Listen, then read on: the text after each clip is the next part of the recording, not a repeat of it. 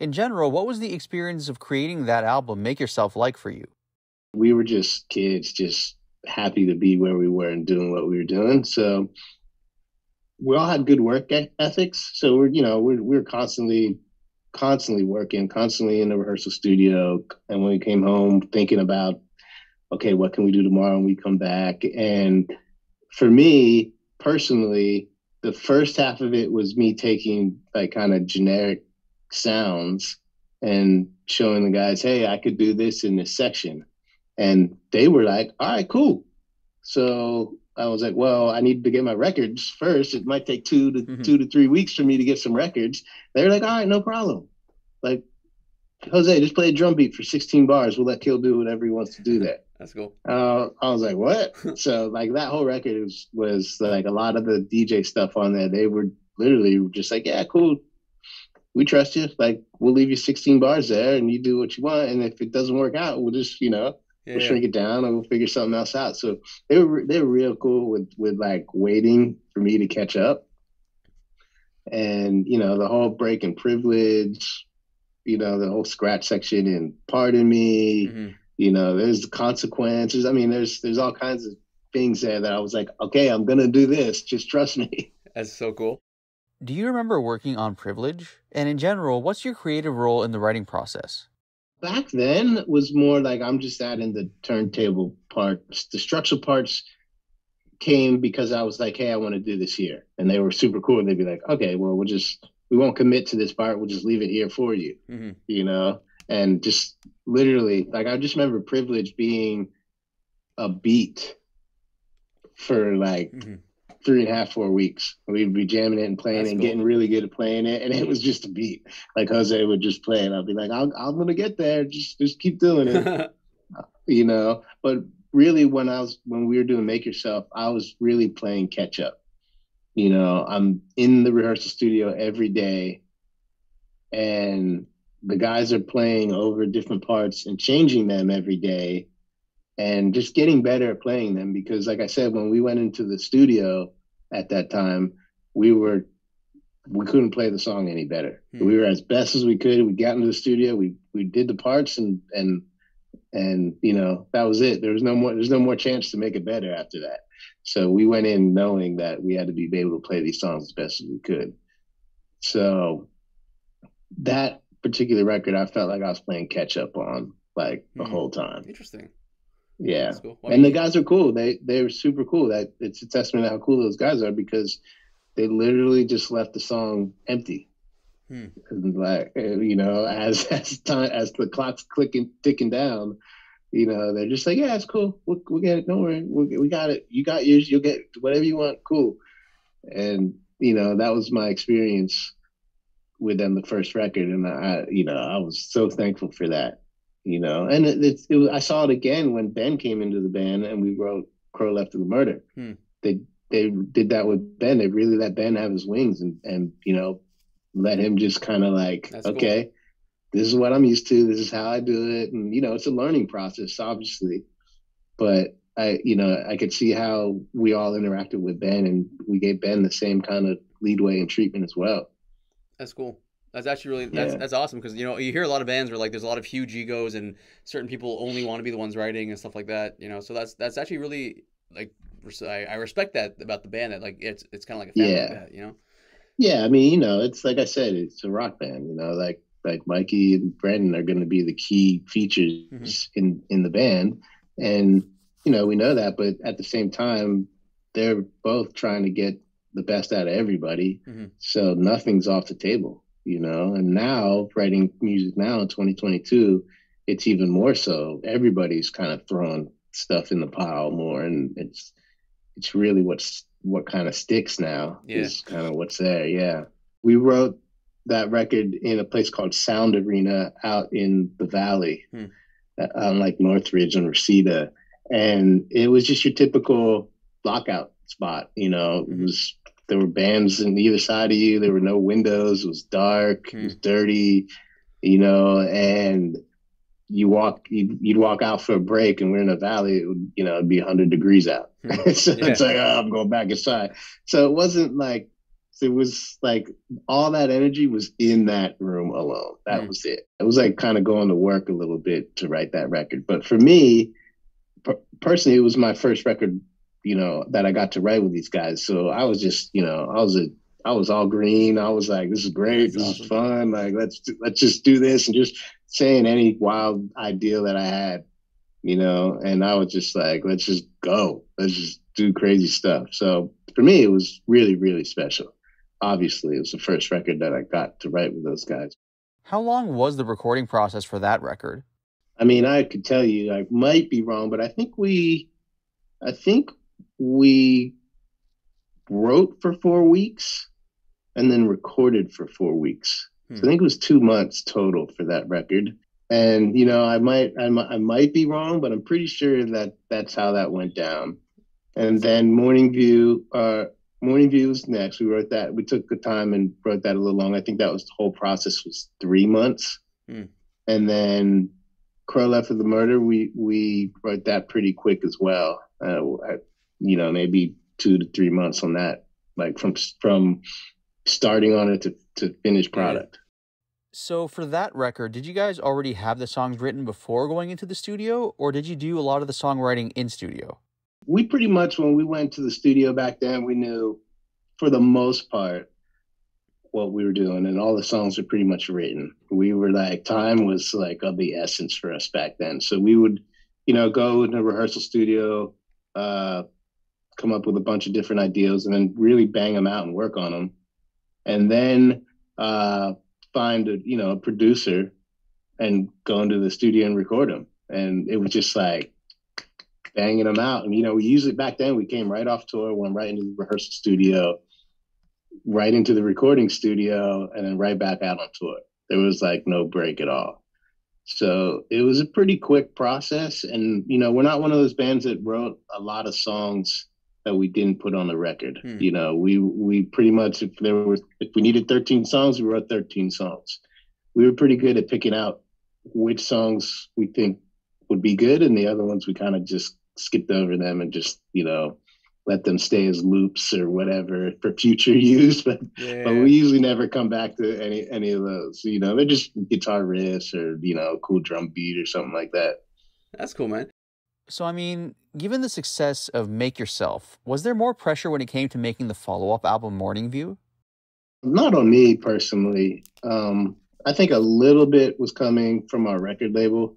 Uh, they wanted us to write the record the same way we wrote Make Yourself. Hmm. And we were just kind of like, well, we're all pretty responsible, hardworking guys. Like, I think we could do it cheaper and better if we were in a house so Mike was the guy that took the took the record label, you know, on on that one because Mikey was already kind of in that world, and he was just like, you know, look, we'll, we'll make you a cheaper record, a better record if you let us get a house. And he convinced him to let us get a house, and that by far was the coolest experience we've had in writing a record. You know, at the same time, you know, we were young, we weren't really thinking about the future. There's not much pressure on you when you're just like, hey, we're just having fun doing what we're doing. Yeah and we all knew that that we would get a record done. We all knew that it was the most important things in our lives at the time. So we weren't there just to fuck off. Mm-hmm. But at the same time, we got a lot of inspiration and had a lot of fun in that house. It was such a, a bonding experience. You know, like you know, like you go on work retreats and do the do the all the all the crazy stuff to get your group to be better. I think for us, that even though we were already really tight and doing crazy things that nobody had, you know, not a lot of people get to do, mm-hmm. that experience brought us even closer. So, for the making of that record, you guys were all living together. When you're living together as a band, does it result in more creativity? Yeah, I don't know if there's, I think there's more inspiration. Mm-hmm. I don't know about more creativity. There's definitely, you know, having an idea at two in the morning and hearing Mike in the big room like coming through, you know, playing a guitar, like it was really easy just to walk out there and be like, Mike, like check this out. What if you what if we did this? And the two of us would be up at two in the morning, like just working, you know, just a little part out or something. And then and then the next day when we all got together, we were like, yo, check this out. you know, yeah, yeah. like there was no like, okay, we have the rehearsal room from two to four today, or one to five, or whatever. There was none of that. It was like twenty four seven. If you had an idea, like all the equipment was up and running, you like you just do whatever you want to do. And, so sick. Yeah. Yeah, yeah. So the inspiration was there, you know, the beach was there. There's it was, you know, Malibu's. It's all super nice. And I think that's what worried the record label. They were like, oh, these kids are just gonna fuck off in Malibu and not not not give yeah, us a record. Yeah. that's yeah. funny. So how did how did Mike end up convincing the label to give you guys the green light? Well, Mikey was always from a young age. He was interning at record labels and doing things like that. So he knew a lot of the people as they were getting promoted through mm-hmm. the record label. And Mikey's like our business guy of the band. He's he remembers everybody. He's always business minded with people. And, you know, I don't know the exact conversation that he had, but somehow he convinced Sony to let us do it. that sounds sick. So, when it comes to writing, is it usually one or two people that come up with the ideas in the band, or do you all contribute? I would say mostly, you know, it's a rock band, so it's mostly Mike. It's the guitar player. You know, if he, it's crazy, crazy musician. First off, and he just writes stuff that you're just like, what is that? You know, what is that? What are you like? Okay, what's the timing of that? Where's the one of that? Like, what are you thinking? And you know, and if Brandon vibes on it and likes it, you know, then you got two key pieces of of a song and then we all kind of just start banging it out and try to figure out you know okay let's change this change the key you know change the timing and we kind of all in that process but really you know mike mike has to come up with that guitar riff and brandon needs that melody if we don't have those then you know we just have an instrumental and you know it's, it's not a song really so so that's really the process you know it's sometimes you know now you know ben kenney's in the band so he'll bring in a bunch of different things because he's a sick musician too. He's mm-hmm. he's just he's wild. He's probably the best musician in the band. don't tell him I said that. I don't know. but uh, yeah, yeah. So you know, it's it's it's pretty uh, open format, but we also realize that we're in a rock band and it's guitars and vocals. You know, it's so cool. So I mean, yeah. you yourself personally, considering you know you're in you're the DJ, you do turntables. Considering you're already kind of in the production world, do you ever get involved with the actual producing of the music? Oh, for sure, for sure. I think we all are. Uh, I always said I'm like the icing on a multi-layer cake. and so I'm like the, you know, when we're in the studio, especially later in our career bright music, that's where most of my stuff happens. You know, it's me and the producer and whichever band member feels like coming along that day. you know, but uh, there's a lot of like, you know, afterthought to the songs to get them over the finish line, mm-hmm. and that's at the very end of the process. And it, you know, that's that I have a big part to do with that for sure. You know, there's there's a lot of there's a lot of ideas that I have in my head. I'm like, oh, I think we could do this. I'm like, mm-hmm. Brandon, if you sing this melody this way, I can put it on my turntables and do this to it. You know, that's cool. And well, when I explain it to him, he's kind of like, uh, well, why don't I just sing it that way in the first place? you know, he's kind of, he's not thinking from a DJ standpoint. So it's a little different. So to show him that, like, I actually, you know, have to like produce something and be like, okay, let's put this together and like, let's think about this. And, you know, this can go here. And then three quarters through the song, we can reintroduce it and it could sound this way, you know? Yeah. So yeah, there's a lot of production, but we're kind of all like that you know, we're all pretty much involved in the production process. When we write music, we don't have a producer with it. It's, it's just us for the most part. And like I said before, we're, now we've done it so many times and so often that we kind of get a feel for what we like. Mm-hmm. And if we like it, that's the first test. You know, it's got to pass that test, obviously. And then we'll get, you know, depending on our goal, we'll get a batch of songs and then we'll kind of talk about producers and who we'd like to produce the song or help us out with the song because we always if you leave the five of us up to our own devices it's we'll, we'll be on left field we need somebody with an outside perspective to rein us in a little bit that's cool man that's cool so from yeah. from make yourself onwards make yourself was the first record that you were involved with with the band yeah from that point onwards has your approach in the studio changed at all, or has it always been more or less the same? Oh, it's changed drastically, actually, and that's because of technology. Hmm. Um, when we wrote "Make Yourself," uh, I was pressing up test pressings for scratch records, and you know. I would always record weird sounds or just have just a, basically a whole library of sound effects and things like yeah. that. And I would have to press that up on a, to vinyl. So you know that that was about a two week process to even get a test pressing, and then another two week process to actually get real vinyl out of that. So you know during that process, the guys are writing music mm. and they're jamming, and I'm just like trying to fill in things and like okay, we can do this, but then technology caught up and everything went digital. You know, you got all the DVS DJ systems and everything was in the computer.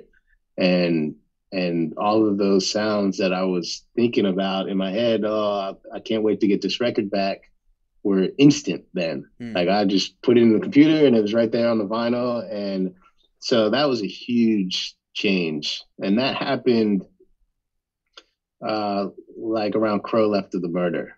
Mm. So, and then I kind of went all digital. And when that happened, it, it kind of opened up the, all the keys for me. Yeah. Because, you know, before I'm just making weird sound effects on the keys and recording them and then playing them on vinyl. And then because everything went instant, it kind of just was like, well, let me figure out how to do all this stuff live mm-hmm. and just skip the computer and go right to the keyboard as well. And then just add it as another tool in the shed, you know? Cool, yeah. That's so yeah, it's definitely changed. Technology is crazy, man. Like yeah it's crazy. Like I, I, still to this day, I'm like every day, I'm like, oh, I could learn this. I could. This is new. Oh, this is new. This is new. It's like you always have to keep up with it. Yeah, for sure. I mean, I, I get yeah. the argument because I have like I have some friends who are they're very pro analog, and I get the argument, but I just think that the yeah. benefits of digital just way outweighs the analog, in my opinion. I think digital is better. Yeah, personally. Yeah, I think so too. But then you know we have guys in the band that don't think that. They think the opposite. You know, yeah. like like like which is great because we have such a diversity in the band and it's never just one way it's always like okay what is the best way for this situation because we use pro tools to record everything hmm. and in my home studio like the only time i use pro tools is if i'm dealing with incubus stuff you know i'm ableton all the way just because i oh, feel like cool. it's now surpassed pro tools in a way that, that pro tools can't catch up uh, especially if you're writing electronic music. Um, and you know, forever we used to record the drums live into Pro Tools, and then run that back to tape, analog tape, just so we had that analog sound that we always used to have before.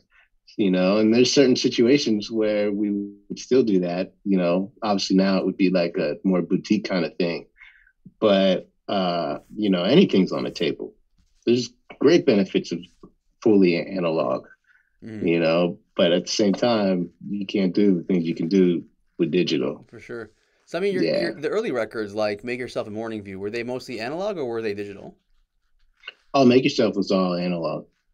Yeah, I mean the only things you know, only things digital were you know some keyboard sound effects or you know something like that, something like that. Even the turntables weren't digital back then. Oh, yeah, yeah, cool. which was which is crazy because on stage when you go to play that live, then you know Brandon's jumping around, going crazy. My needles are bouncing off the record, and every single day in a different venue, it was always about how could I get my needles not you know, now that's not even an issue. I don't even have that problem anymore. That's cool, man.